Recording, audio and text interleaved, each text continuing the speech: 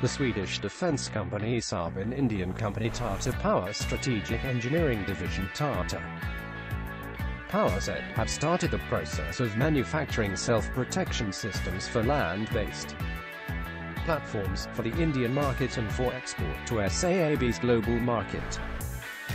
According to the company's announcement, the partnership will also involve joint development of the next-generation self-protection system.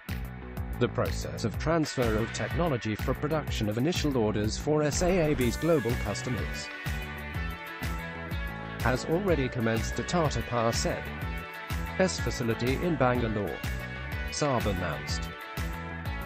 Tata Power SED will eventually manufacture a large part of the system in India and also the final assembly.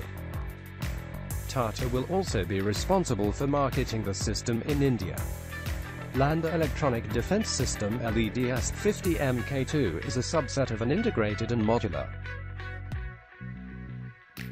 active defense system consisting of a laser warning segment LWS and effector control segment OSCS. The solution provides combat personnel with vital situational awareness on laser threats and countermeasure availability in areas of coverage protection offered under dynamic conditions, allowing manual or fully automatic responses against threats.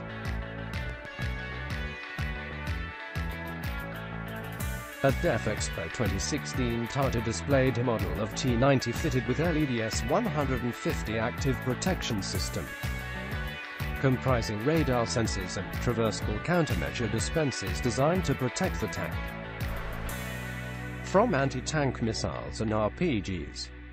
Given the long-term potential for self-protection systems for combat vehicles, both in India and abroad, we see this collaboration with Saab as an important milestone in boosting India's capabilities in building defense systems, said Rahul Chaudhary, CEO, Tata Power SED. It is perfectly aligned with the actual essence of Make in India initiatives being implemented by the Indian government.